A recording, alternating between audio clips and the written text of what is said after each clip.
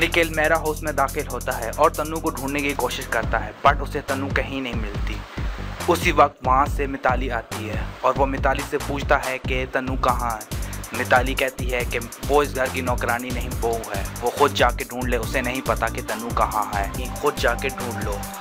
निखिल तनु को ढूंढते ढूंढते ऊपर चला जाता है और वहाँ गलती से वो उस कमरे में चला जाता है जहाँ पे सरला होती है।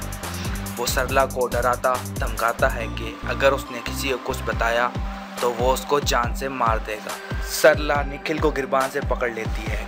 निखिल सरला को घसीट के बिस्तर से नीचे गिरा देता है। निखिल कमरे से बाहर जाने लगता है, दूसरी तरफ़ से प्रज्ञा आ जाती है। प्रज्ञा उससे पूछती है कि तुमने मेरी माँ के साथ क्या किया? निखिल कुछ जवाब नहीं देता और वहाँ से चला जाता है। निखिल सीधा तन्नू के कमरे में जाता है। और तनु उसको बताती है कि तन्नू निखिल को कहती है कि उसको रोनी के नंबर से कॉलें आ रही हैं। निखिल उसको कहता है क्या तुम पागल तो नहीं हो गई, मैंने तुम्हारे सामने ही रोनी को जान से मारा था। उसके बाद तनु उसको उसका नंबर दिखाती है।